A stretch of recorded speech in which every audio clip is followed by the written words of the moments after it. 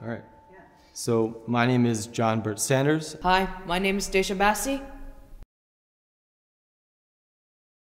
So these are two pieces that Daijah uh, and I made together collaboratively.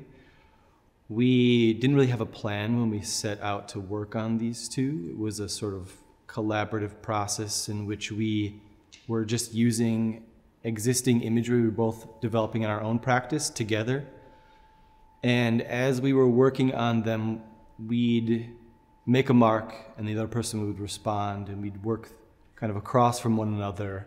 Um, and it kind of developed in a way that uh, we weren't really talking. We would just kind of uh, make an image and it was sort of like a signal to the other person to then respond to it. So there was this nonverbal back and forth. It's like it's like a a, a. It's like you're making with some with ache. They put the oil thing the back black oil. I can't tell which is, but um, um it's um, it's those here.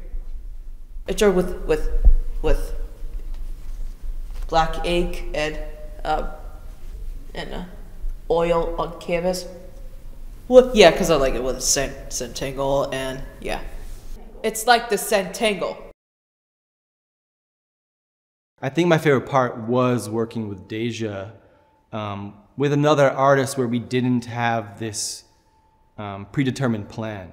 That it was something that really was collaborative in the mishmash between what we do individually in our own work and what we could kind of come together. And there's lots of moments in each piece where there are marks that are really the result of the collaboration, not necessarily my marks or Daijah's marks. Well, let's make a set with the partner, uh, which is hard to do, but it's, yeah.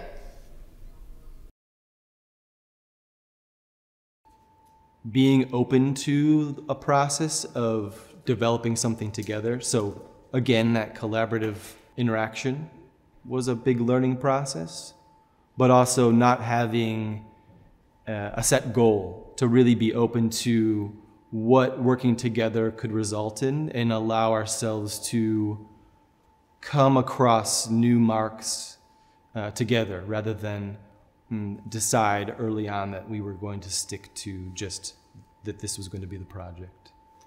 Which is it like to to to uh to to put the tape on and draw the any shape or to cut just cut just don't cut the whole thing just like a to make it a line.